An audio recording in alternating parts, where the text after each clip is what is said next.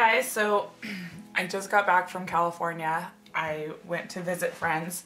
I'm sure some of you saw that on Facebook. And um, the last time I talked to you, I was I think I was on this line right here, on this flower. So uh, I'm I'm coming at it with fresh eyes. It's been about a week since I last looked at this painting, um, and I can't remember everything I said to you before I left. So if I repeat myself, I'm really sorry. Um, let's see here. So I was working on that one flower with a I think the Carbothello, which I didn't put on your supply list, so don't be mad at me, but you could use any watercolor pencil or you don't have to at all. I just wanted to give you another, um, another technique, I guess. Um, so the Carbothellos are water-soluble pencils. Um, so here's an example of it right now. I got it in a pack.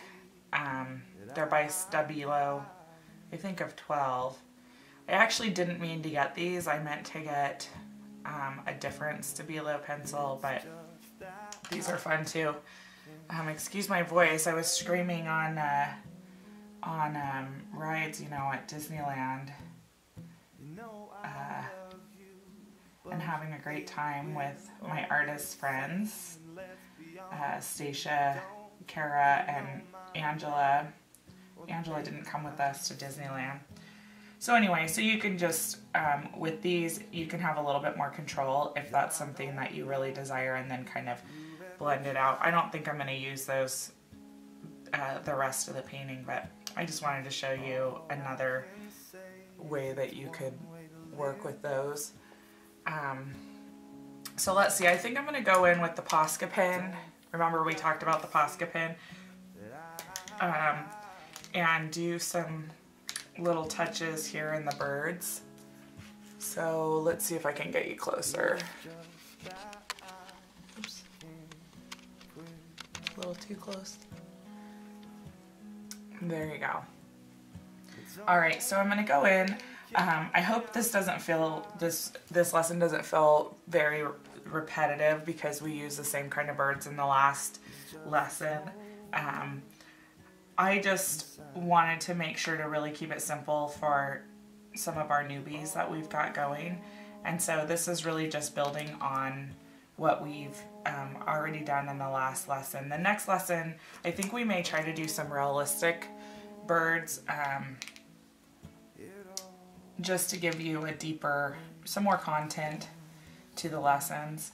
Um, okay, so I'm to go in, I'm to do our little our little U shapes like we like we uh, did in the last lesson. My Posca pen's kind of messed up right now. It went on the plane to, with me to California and Okay, I found another Posca pen um, in my drawer, so hopefully this one's a little fresher. So I'm just going in over my little wings here and doing what we did in the last class, so it's the same U shapes.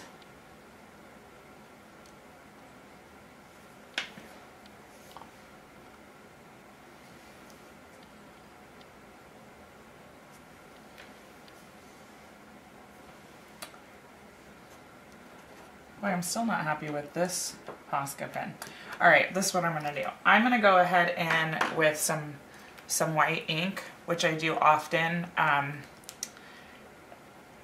you're welcome to try it, you know, to pick some up. I got this at, this is Daler Rowney um, acrylic artist ink that I got at Hobby Lobby. I love it. Um, and it's not like a pen so it doesn't dry up. um, and so I'm just going to go ahead and do the same thing that you're doing with your Posca pen. I'm going to do it with the with the ink. It does need shaking, you know, so that's what I'm doing. Um, they separate really easily. And I'm just going to put a little bit on my uh, on my watercolor palette here. I use ink a lot with watercolor. Um, they work well together. Let's see, is this the pen or the...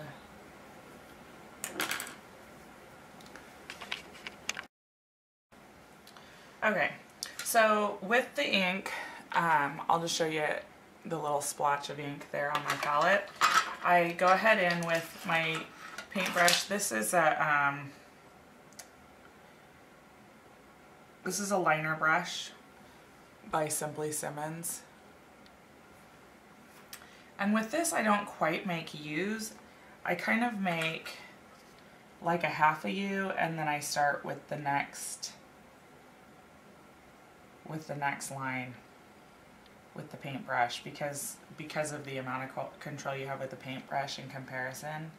So it's almost like a I don't know, like a round L shape or like a maybe a cursive U. um, I'm just gonna go through into that. You could use a, a very watered down acrylic white paint for this as well if you don't have the Posca pen and you want to use a liner brush. Um, the best way to get lines in with acrylic paint is to really water down the acrylic paint so that it's the consistency of ink.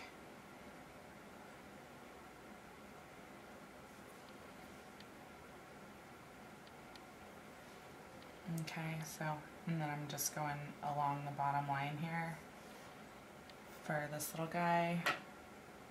I might just go ahead around um, his eyeball with white like that. And then I'm going to give him the little dot and line here to bring him alive. Um, let's see. I'll give him a little line down the center of his beak. It's a great way to clean up your lines a little bit too on your watercolor.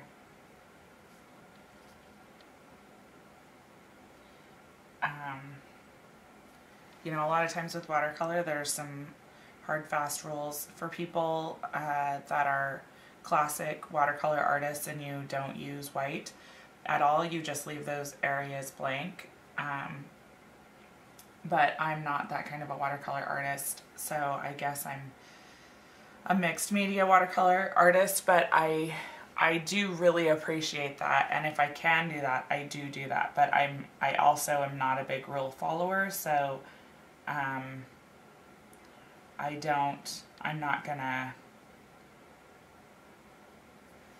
get all upset about it if that's not what works out. So I'm just going around this one flower here with some of my white ink.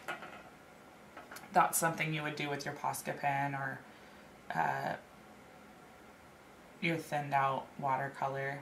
Just giving it a little bit of definition.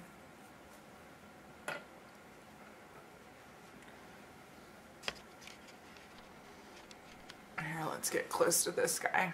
So I'm going to do the same thing with him as I did with the other guy. So I'm just going to give him some of these little cursive U's.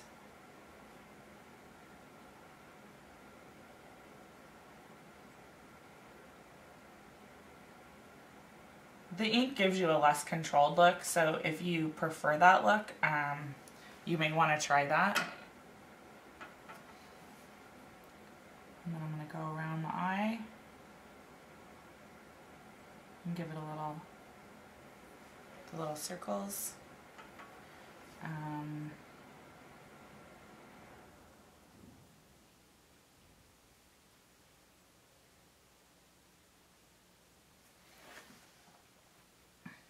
I think I'll go around this little body here.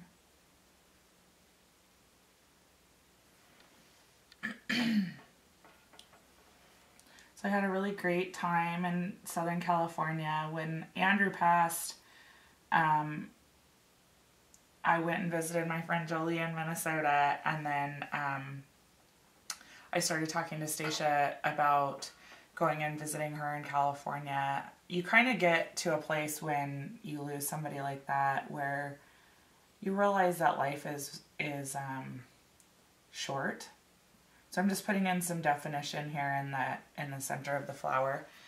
And that, um, that you really need to live it to the fullest, you know, and, and do those things that you've been talking about for so long that you never necessarily know are really going to happen. And if you can find the opportunity to go and, do something like that,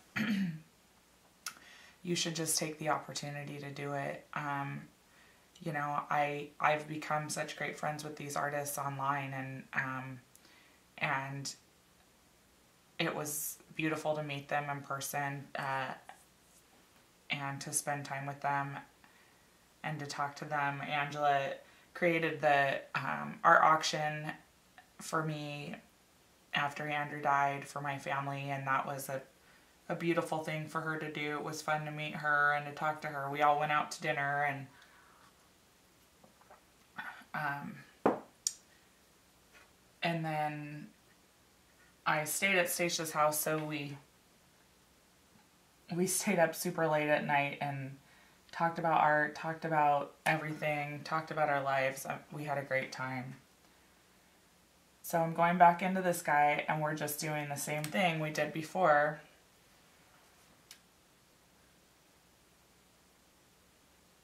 You might find that you have more control going in another, a different, a different facing direction. Um, for whatever reason.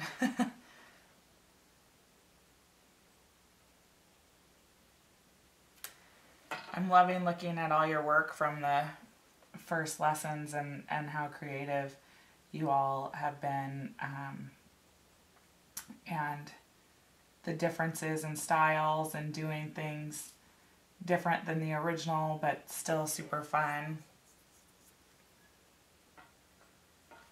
With the paintbrush you're going to end up finding yourself with different strokes so they're not going to be super the you know, super perfect or just the same as the ones you did here. And that's okay because, you know, uh, every creature is is different. So um, it's actually more accurate if if it's not perfect and not aligned. Just like you. We're all imperfect in our own perfect way. So going back into the eye. Oh my goodness. You haven't seen any of that. Okay. So if I clip out that part, I just painted this guy and I forgot to actually move it so that you could see it.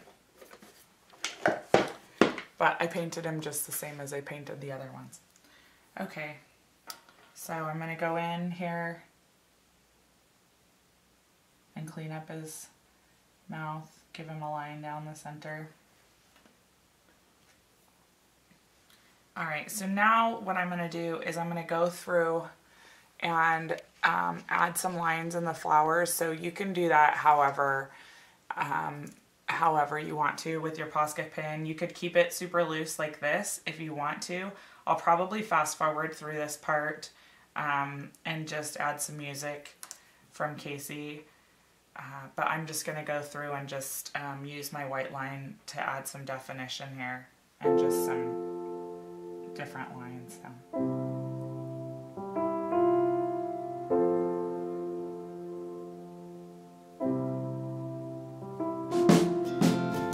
Take a little piece of me.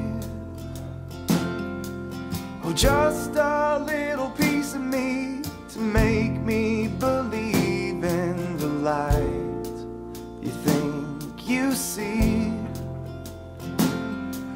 Cause I